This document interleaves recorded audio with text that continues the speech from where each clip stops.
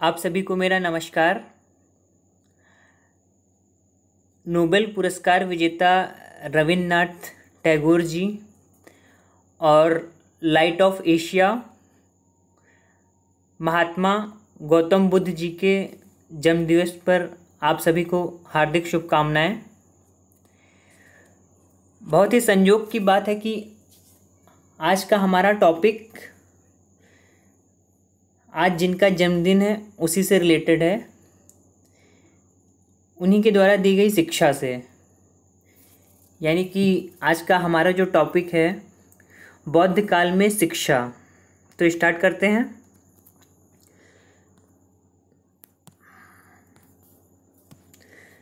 तो institutions of higher education and education in ancient India P two, यानी part two. तो आज हम लोग बौद्ध काल में शिक्षा की बात करेंगे। इससे पहले जब हम लोग ने वैदिक काल में शिक्षा की बात की थी, वैदिक काल में शिक्षा के बारे में पढ़ा था तो हमने ये पढ़ा था कि जो वैदिक काल में शिक्षा का अंतिम लक्ष्य था, या शिक्षा का जो अंतिम उद्देश्य था, मोक्ष की प्राप्ति। परा और अपरा ज्ञान। परा ज्ञान क्या था? जो इस संसार से परे हो, यानी कि हायर लेवल की थिंकिंग यानी आत्मा का परमात्मा से मिलन, जीवात्मा का परमात्मा से मिलन।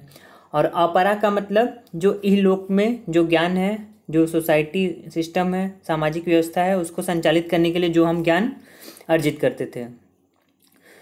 तो जैसा कि वैदिक काल की स्टार्टिंग थी तो वैदिक काल या ऋग वैदिक काल में जो शिक्षा थी, बहुत अच्छी थी। लेकिन जैसे जैसे हम वर्ण व्यवस्था से जाति व्यवस्था की ओर बढ़ते गए, यानी उत्तर वैदिक काल जैसे जैसे स्टार्ट हुआ तो वर्ण व्यवस्था में क्या था कि सभी को कर्म के आधार पे डिवाइड किया गया था, सभी वर्गों को।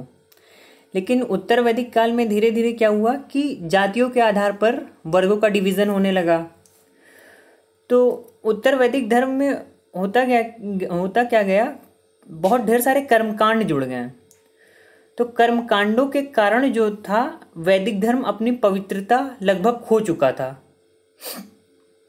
और साधारण जनता में उस समय इन कर्मकांडों के प्रति इतना ज़्यादा रोष व्याप्त हो गया था कि इसकी प्रतिक्रिया हमारे उपनिषद में भी दिखती है। उस समय बहुत ज़्यादा वैदिक कर्मकांड बढ़ गए थे और ब्राह्मणों में जो पुरोहितवाद था, उसका उदय हुआ। और धीरे धीरे चलते चलते चलते क्या हुआ? शिक्षा पर ब्राह्मणों का एकाधिकार हो गया और शिक्षा को जो है कर्मकांड से जोड़ दिया गया। उसके फलस्वरूप हुआ क्या? एक तो नारी शिक्षा की उपेक्षा होने लगी। जैसा कि हम लोगों ने पढ़ा था, ऋग्वैदिक काल में क्या था? नारी को भी शिक्षा पाने का अधिकार था। लेकिन उत्तर वैदिक काल आते आते नारी शिक्षा की स्थिति गिरती चली गई और उनको शिक्षा से वंचित किया जाने लगा।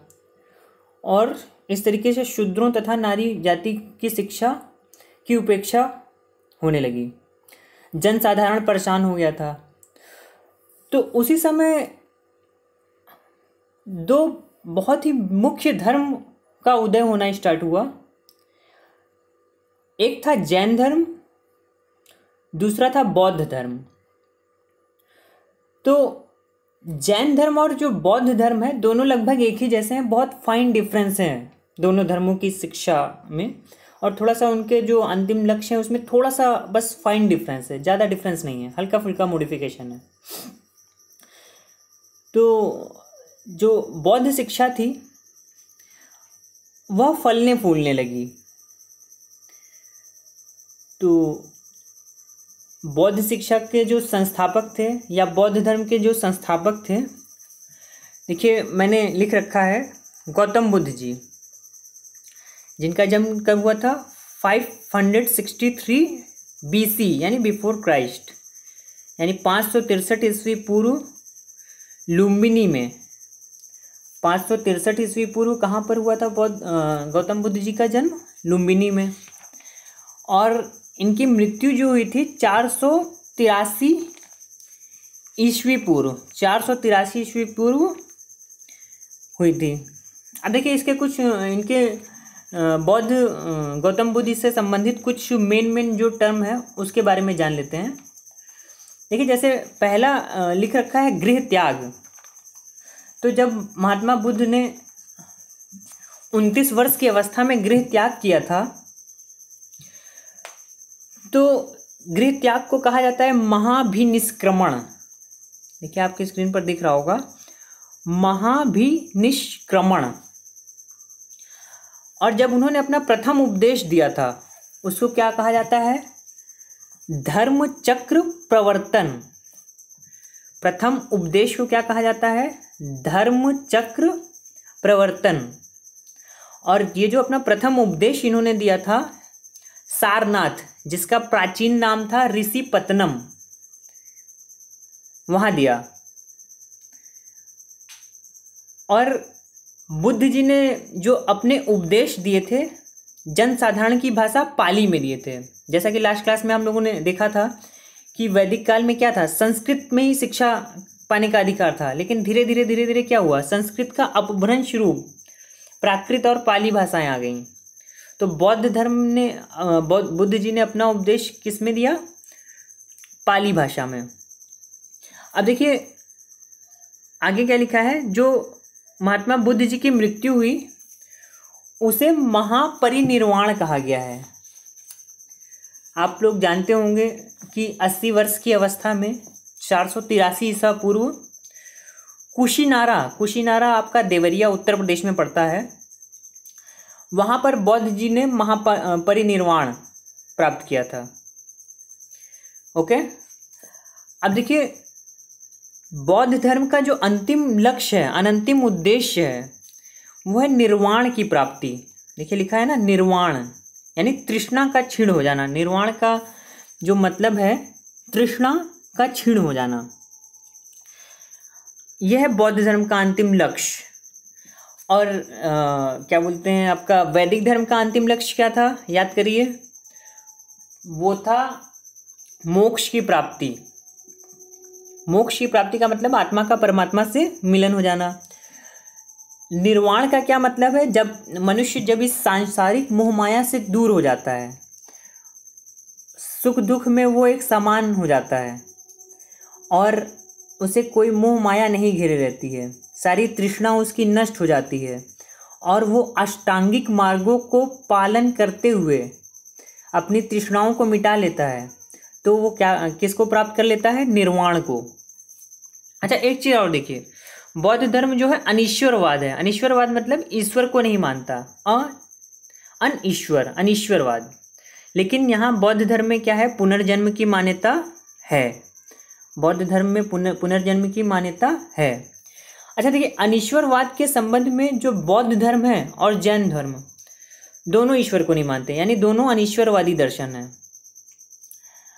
अच्छा आप देखिए, महात्मा बुद्ध ने जो अपने उपदेश दिया था, उसमें अपने अनुयायियों को ये उपदेश दिया था कि वो मध्यम प्रतिपदा का मार्ग अपनाएँ। मध्यम प्रतिपदा का मतलब क्या है? मध्यम मार्ग, न बहुत कम, न बहुत ज़्यादा। न किसी की अति करिए, ना किसी की कमी करिए। ठीक? Now what is the characteristics of Buddhism education देखते हैं। विशेषताएँ कैरेक्टरिस्टिक्स अब विशेषताओं में, विशेषताएँ कैरेक्टरिस्टिक्स में जो आपका पहला है, शिक्षा का उद्देश्य क्या था बौद्ध धर्म में? तो बौद्ध धर्म में शिक्षा का जो उद्देश्य है, इसमें क्या था कि लगभग जो शिक्षा का उद्देश्य वैदिक काल की शिक्षा का था, वही लगभग बौद्धकालीन शिक्षा का भी उद्देश्य था। अंतर केवल इतना था कि बौद्ध धर्म में आध्यात्मिक विकास पर बहुत ज़्यादा ज़ोर ना देकर नैतिकता और शील गुणों पर अधिक ध्यान दिया गया।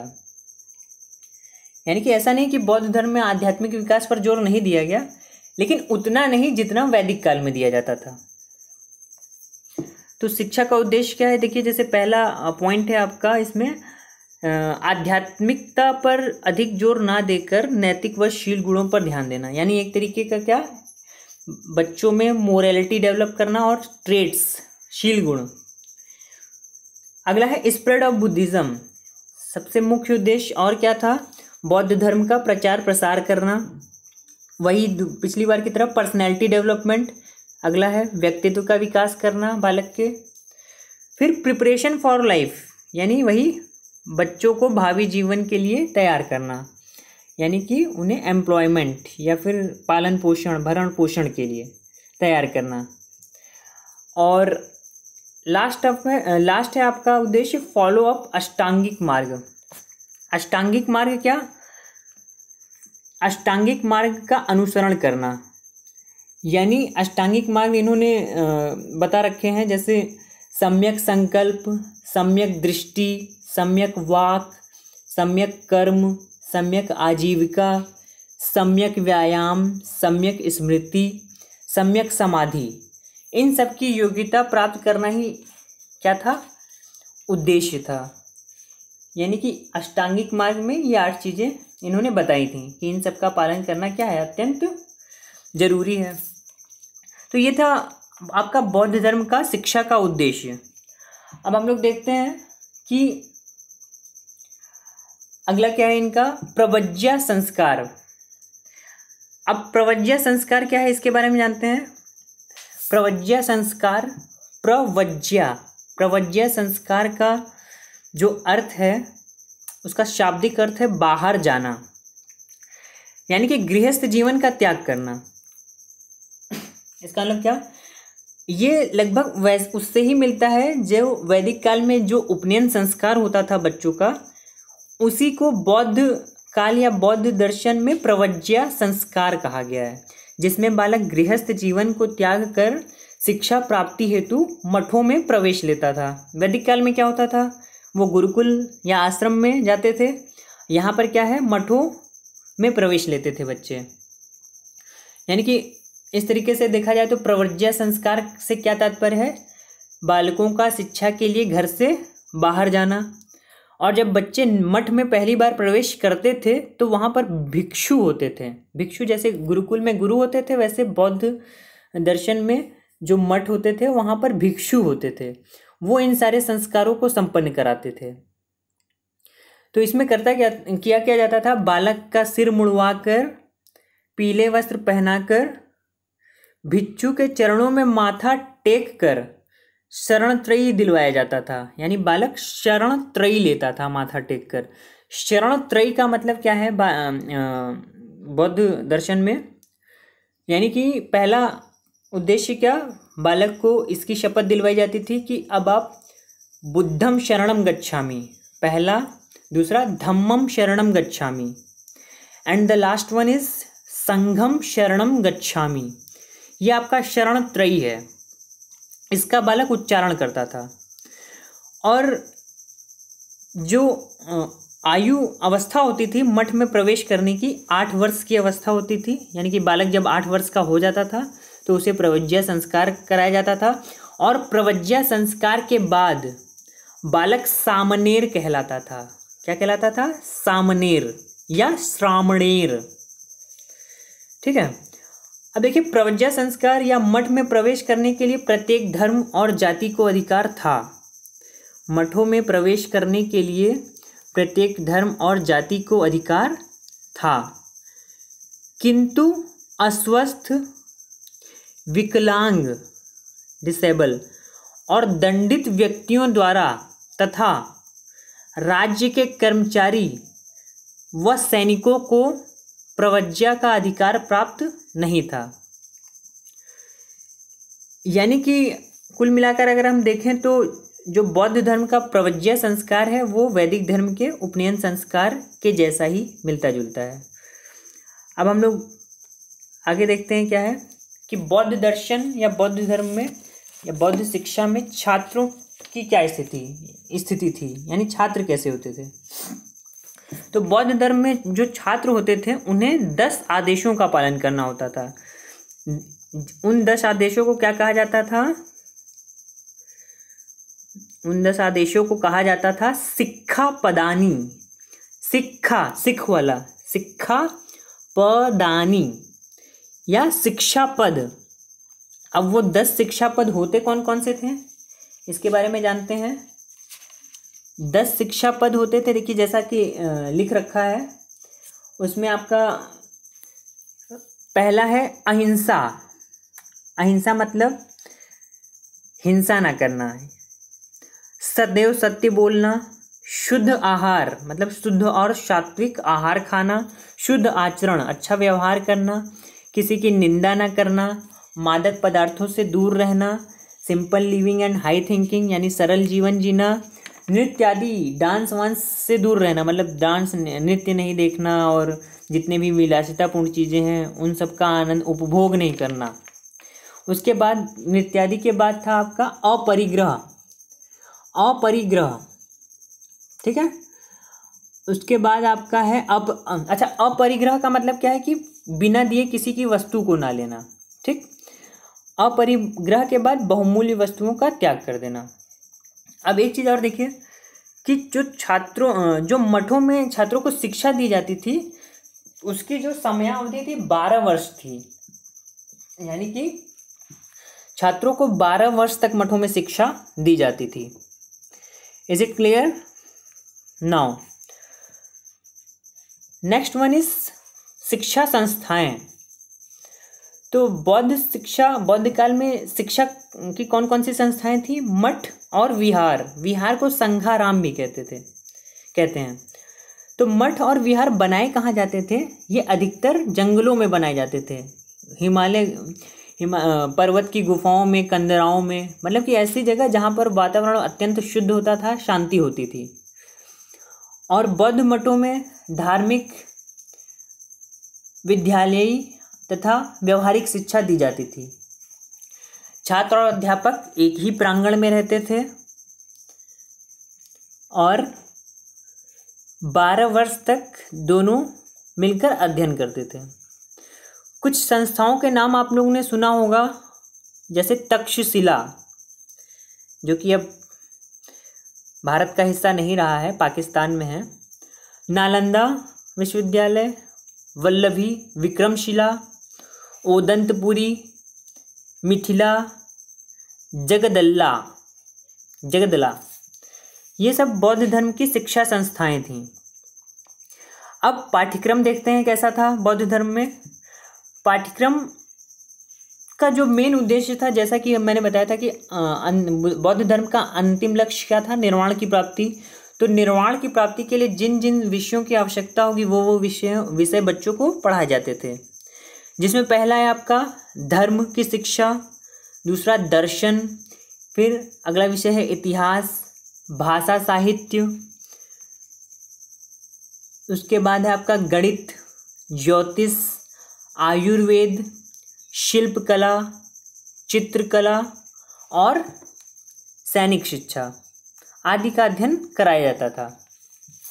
टीचिंग मेथड देखिए क्या यूज़ होते थे? शिक्षण विधि।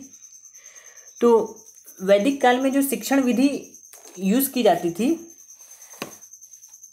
वो लगभग सॉरी हाँ बौद्ध काल में जो शिक्षण विधि यूज़ की जाती थी, वो लगभग वैदिक काल के समान होती थी। जैसे प्रश्नोत्तर विधि, आपको याद होगा, वैदिक काल में भी यूज़ किया जाता था। वाद विवाद, देशाटन देशाटन का मतलब एक्सकर्शन मेथड मतलब भ्रमण विधि। बच्चों को जो शिक्षा दी जाती थी एक्स फ़ील्ड फ़ील्ड ट्रिप आपने सुना होगा। फ़ील्ड ट्रिप फ़ील्ड ट्रिप भ्रमण विधि, देशाटन ओके अगला था जो, अगला है व्याख्यान विधि, और नेक्स्ट वन है प्रयोगात्मक विधि। प्रयोगात्मक विधि वही लर्निंग बाई डूइंग या एक्सपेरिमेंटल मेथड करके सीखना। और जैसा कि बताया था, बौद्ध धर्म में जन साधारण की भाषा में शिक्षा दी जाती थी। देखिए, लिख भी रखा है, प्राकृत या पाली भाषा में शिक्षा दी जाती थी। अब सातवां क्या है? पनिशमेंट दंड का क्या विधान था बौद्ध धर्म में?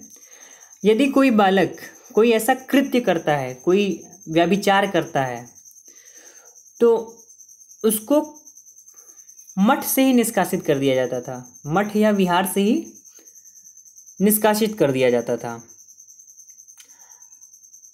क्या क्या कारण हो सकते थे इसके?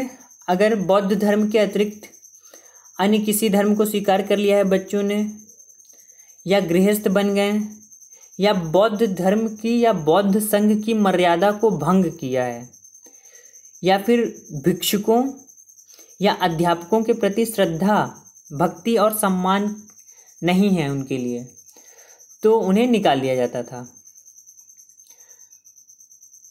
अब देखिए, अगला क्या है? अनुशासन कैसा था? तो बौद्ध धर्म में भी अनुशासन जो था, बहुत ही कठोर था। कठोर अनुशासन और स्व अनुशासन सेल्फ डिसिप्लिन ओके नाउ नारी शिक्षा की क्या स्थिति थी? बौद्ध धर्म में शुरुआत में महिलाओं को शिक्षा का अधिकार नहीं दिया गया था। बौद्ध धर्म में शुरुआत में महिलाओं को शिक्षा का अधिकार नहीं दिया गया था।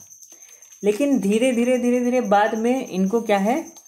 कि शिक्षा का अधिकार दे दिया गया। तो देखिए, महिलाओं अब आप लोग ने देखा होगा कि उत्तर वैदिक काल में भी क्या था? महिलाओं को शिक्षा से वंचित कर दिया गया था। और यहाँ पर भी बौद्ध में भी शुरुआत में गौतम बुद्ध ने परमिशन नहीं दी थी। बाद में धीरे धीरे महात्मा बुद्ध ने स्त्रियों को भी भिक्षुणी के रूप में मठों में प्रवेश की अनुमति दे दी थी। तो ये था ये है नारी शिक्षा के लिए। अब देखिए, लेकिन एक बात कही थी गौतम बुद्ध जी ने कि उनका एक प्रिय शिष्य थे आनंद, सुना होगा आप लोगों ने, कि वो पक्ष में नहीं थे स्त्रियों को क्या बोलते हैं बौद्ध धर्म में अनुमति देने के या बौद्ध संघ में। तो इन्होंने कहा था कि यदि विहारों में स्त्रियों का प्रवेश न हुआ होता तो यह धर्म हज़ार वर्ष तक चलता। लेकिन जब स्त्रियों को प्रवेश का अधिकार दे दिया गया तो अब यह केवल पाँच सौ वर्ष टिकेगा। ये बुद्ध जी ने कहा था। ठीक है? नाउ, अब नेक्स्ट हम लोग देखते हैं, दसवां पॉइंट क्या है? उप संपदा संस्कार। अब उप संपदा संस्कार क्या था? उप संपदा संस्कार में क्या था कि बालक नॉर्मली देखिए क्या होता था कि मठ में बारह वर्ष की शिक्षा प्राप्त करने के बाद बालक जो है अपने घरों को वापस लौट जाते थे और गृहस्थ जीवन अपना लेते थे। लेकिन जो बालक बारह वर्ष की अवस्था के पश्चात भी आजीवन शिक्षा ग्रहण करने का इच्छुक होता था तो उसे संघ में प्रवेश दिया जाता था। तो उसका जो प्रोसेस था, उप उप संपदा संस्कार कहा जाता था। यानी कि संपूर्ण जीवन के लिए भिक्षुक बने रहने का संकल्प या संपूर्ण जीवन के लिए जो भिक्षुक बनना चाहता था, उसको, उसे उप संपदा संस्कार करवाया जाता था। और उन्हें क्या कहा जाता था? आजन्म भिक्षुक। ये आजन्म भिक्षुक रहकर बौद्ध धर्म का प्रचार प्रसार करते थे और दूसरे जो बारह वर्ष तक केवल शिक्षा ग्रहण करते थे, वो गृहस्थ जीवन अपना लेते थे। अब देखिए वीकनेस क्या थी बौद्ध शिक्षा की? एक तो पहली वीकनेस ये थी कि बौद्ध धर्म में कट्टर बौद्ध धर्म के विचार थे। यानी कि प्रत्येक इंसान को बौद्ध धर्मावलंबी बनाना था। ठीक है? क्योंकि बौद्ध धर्म का जो प्रादुर्भाव हुआ था, वो ब्राह्मणीय शिक्षा प्रणाली के प्रतिद्वंदी के रूप में हुआ था। तो इसलिए क्या है कि वैदिक शिक्षा में जो दोष थे, उनको दूर करने का प्रयास करना तो स्वाभाविक ही था। लेकिन फिर भी क्या है, हमारा एक नेचुरल बिहेवियर होता है, हम खुद को सर्वश्रेष्ठ साबित करने की कोशिश करने लगते हैं। तो इस वजह से क्या है कि हम गलतियाँ करने लगते हैं। तो यही हुआ। बौद्ध धर्म ने, में भी कट्टर बौद्ध धर्म अपनाना स्टार्ट कर दिया, यानी धर्मावलंबी बनाना। उसके बाद क्या है कि बौद्ध धर्म में क्या है कि आप इस लौकिक जीवन की उपेक्षा की जाने लगी, यानी कि कोई लग्जरीज नहीं, सब चीज़ों का त्याग कर दो। तो लौकिक जीवन की उपेक्षा की गई। जैसा कि अभी स्त्री शिक्षा की उपेक्षा की बात की गई थी। कि स्त्री शिक्षा शुरुआत में अलाउ नहीं थी तो स्त्री शिक्षा की भी उपेक्षा की गई। उसके बाद बौद्ध धर्म में क्या है कि हस्त कार्य व शारीरिक श्रम पर भी ध्यान नहीं दिया गया। हस्त हस्त कार्यों और शारीरिक श्रम पर भी उतना ध्यान नहीं दिया गया। और आखिरी कमी क्या थी? विहारों का जो वातावरण था बहुत ही भ्रष्ट हो गया था। भ्रष्ट वातावरण का मतलब क्या? जब जैसे ही महिलाओं का प्रवेश हुआ तो भिक्षु तथा भिक्षुणियों के परस्पर संपर्क से व्याभा व्याभिचार आरंभ हो गया था। तो इससे क्या हुआ कि बौद्ध धर्म का धीरे धीरे पतन होने लगा। तो एक ये कारण था। तो इस तरीके से हमने देखा कि बौद्ध धर्म में शिक्षा व्यवस्था कैसी थी, क्या उनका कल्चर था। अच्छा आप देखिए, जैन धर्म में क्या है कि जैन धर्म में कुछ चीज़ें हैं, जैसे अगर हम तुलना करें बौद्ध धर्म और जैन धर्म की तो जैसे बौद्ध धर्म में क्या था? अंतिम लक्ष्य है निर्वाण की प्राप्ति करना। तो जैन धर्म में अंतिम लक्ष्य किसको माना गया है? कैवल्य की प्राप्ति। कैवल्य की प्राप्ति करना। समानता क्या है दोनों धर्म धर्म में? दोनों अनिश्वरवाद हैं। अनिश्वरवाद हैं दोनों। लेकिन जैन धर्म क्या है? बहुत ज़्यादा कठोर अनुशासन है। यानी कि आपका बौद्ध धर्म से भी बहुत ज़्यादा कठोर अनुशासन है। कठोर अनुशासन, बौद्ध धर्म से भी ज़्यादा। अगला क्या है आपका इसमें? निर्वाण हो गया और जैन धर्म का बाकी लगभग सारी चीज़ें एक ही जैसी थी। बस यही मूलभूत अंतर है दोनों में और जैन धर्म आप शादवाद पे बेस्ड है। अनिकांतवाद आप लोगों ने सुना होगा। तो अनिकांतवाद है शादवाद है, इस तरीके से जैन धर्म और बौद्ध धर्म की शिक्षा लगभग एक समान थी, बस थोड़ा बहुत फाइन डिफरेंस था ओके तो आशा करता हूँ आप लोगों को ये सारी चीज़ें समझ में आई होंगी। अगर फिर भी कोई कन्फ्यूज़न है तो आप कमेंट के द्वारा पूछ सकते हैं। बहुत बहुत धन्यवाद, आपका दिन शुभ हो।